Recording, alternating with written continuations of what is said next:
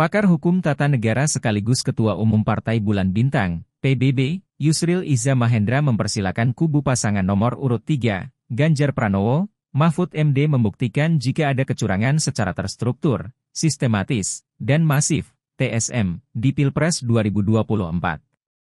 Yusril mengatakan, dirinya tidak bisa menilai ada atau tidaknya kecurangan secara TSM di Pilpres 2024.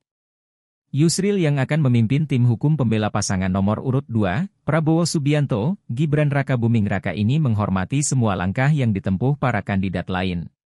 Dia pun meminta pihak yang menyebut ada kecurangan TSM di Pilpres 2024 agar membawa bukti ke Mahkamah Konstitusi, MK, pada saat persidangan nantinya.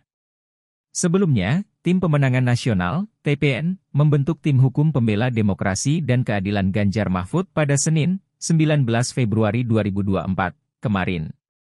Sekretaris TPN Ganjar Mahfud, Hasto Kristianto mengatakan, tim ini dibentuk karena adanya dugaan desain kecurangan Pilpres 2024. Hasto menjelaskan, pembentukan tim ini sebagai tindak lanjut rapat dengan Ketua Umum Partai Politik, Parpol, pendukung Ganjar Mahfud pada Kamis, 15 Februari 2024, lalu. Dia menuturkan, tim tersebut akan dipimpin ahli hukum, Todung Mulia Lubis dan pengacara, Henry Diningrat. Hasto menjelaskan, tim hukum Ganjar Mahfud ini akan diisi oleh para pakar lintas ilmu pengetahuan. Dia menambahkan, tim hukum ini akan menggali bukti-bukti terkait indikasi kecurangan Pilpres 2024 secara terstruktur, sistematis, dan masif, TSM, akibat campur tangan kekuasaan.